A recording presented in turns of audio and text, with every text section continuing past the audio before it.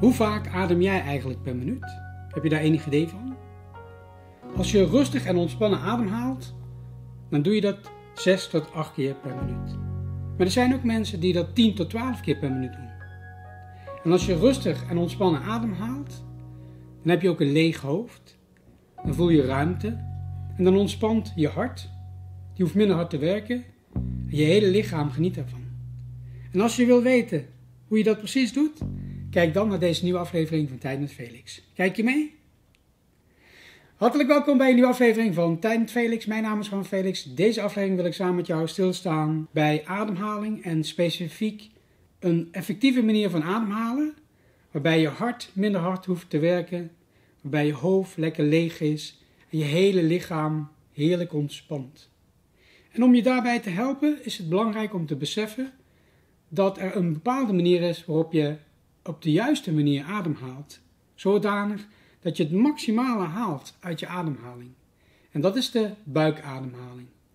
En de wijze waarop je dat doet is met behulp van je middenrif, je diafragma. Stel je voor dat dit je middenrif is. Je middenrif is een spierplaat die je borstholte scheidt van je buikholte. En die spierplaat die trekt samen bij een buikademhaling. En wat er dan gebeurt is, op het moment dat je middenrif samentrekt, dan verandert de vorm, want je middenrif zakt naar beneden. En wat er gebeurt is, doordat je middenrif naar beneden zakt, krijgen je longen meer ruimte en je drukt je buik naar beneden, je ingewanden in je buik komen naar voren. Je buik zet uit. En als je op deze wijze inademt, via je buikademhaling, en je gebruikt je middenrif optimaal, die spierplaat, dan gebeuren er een aantal dingen. En ik wil drie dingen noemen waarmee jij het maximale haalt uit je ademhaling. Als eerste, wat er gebeurt is, op het moment dat je middenrif naar beneden gaat en je borstkast zet uit, dan haal je maximale hoeveelheid zuurstof haal je in je longen, waardoor er ook maximale hoeveelheid zuurstof naar je spieren gaat. En als je spieren veel zuurstof krijgen en goed doorbloed zijn, dan werken ze beter. En je voert ook veel makkelijker afvalstoffen af. Ten tweede, als je middenrif goed naar beneden zakt, omdat je een diepe buikademhaling hebt, dan is het belangrijk om te beseffen dat boven je middenrif, daar zit ook je hart. Ongeveer de grootte van een vuist. En je hart, die zit in een hartzakje. En dat hartzakje, dat zit vast aan je middenrif. Op het moment dat je dus een diepe buikademhaling hebt en je middenrif goed naar beneden zakt, dan trek je dus via het hartzakje trek je dus ook aan je hart. En doordat je aan je hartzakje trekt, voer je eigenlijk tegendruk uit op je hart.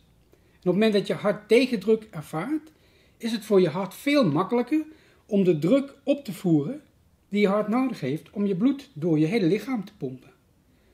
Dus door een diepere buikademhaling en het trekken aan het hartzakje, help je dus je hart om makkelijker de vloeistof door je lichaam, door je hele lichaam te pompen. En dus hoeft je hart minder hard te werken. En als je hart minder hard hoeft te werken, dan gaat er ook weer een signaal naar je brein. Dat je brein een signaal krijgt dat jij je ontspannen voelt. En op het moment dat je dat voelt, dan vertraagt ook je brein en krijg je een leeg hoofd. Dan ervaar je rust in je gedachten en in het gevoel in je lichaam. En als derde, op het moment dat je een diepe buikademhaling uitvoert en je middenrif goed naar beneden zakt, als je beseft dat hieronder je darmen zitten, op het moment dat je dus die buikademhaling uitvoert, waarbij je middenrif continu een beweging maakt, het drukken op je darmen, en ook daar zit weer een vlies omheen. Op het moment dat je dat doet, masseer je je darmen. Je masseert je spijsverteringsstelsel. En als je kijkt naar de functie van je darmen, je dikke darm heeft een samentrekkende beweging om het voedsel uit je darm te verwijderen. Dat noemen we ook peristaltiek. En die peristaltiek, die samentrekkende beweging en die ontspannende beweging, die kun je dus ondersteunen met een diepe buikademhaling. Want je masseert als het ware je darmen. En dan zul je merken dat je spijsvertering beter werkt. Dat je darmen beter gaan werken. En als je bijvoorbeeld denkt aan iets als prikkelbare darmsyndroom, dan kun je stilstaan als je daar last van hebt, hoe je eigenlijk ademhaalt. en of je eigenlijk wel bewust ademhaalt via een diepe buikademhaling. En laat ik je tot slot uitleggen hoe je dan zo'n diepe buikademhaling doet.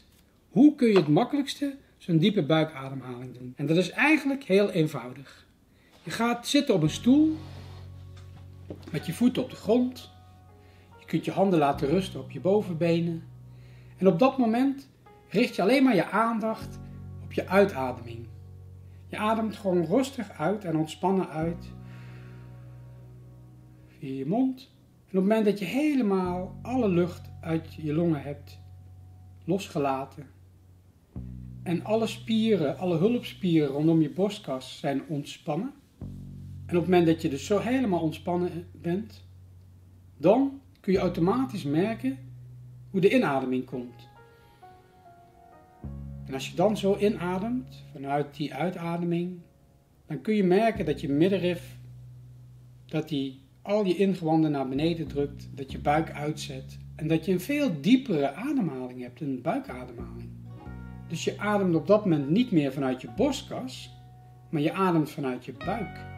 En je kunt zelfs je handen op je buik leggen om te merken dat als je dus eerst uitademt,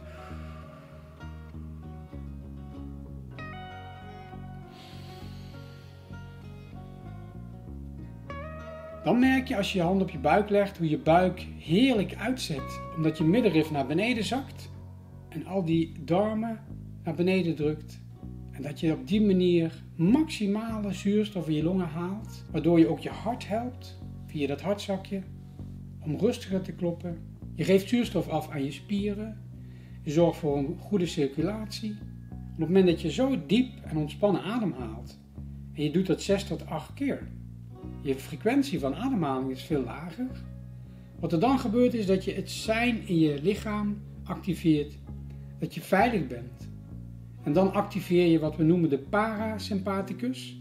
En dat is een deel van je zenuwsysteem dat een signaal krijgt dat jij aangeeft: ik voel me veilig, ik voel me rustig, ik voel me ontspannen. En dan ontspant gewoon je hele lichaam, want het is natuurlijk één systeem. Kortom, met buikademhaling heb je drie voordelen. 1. Je haalt meer zuurstof naar je spieren. Je zorgt voor een goede circulatie.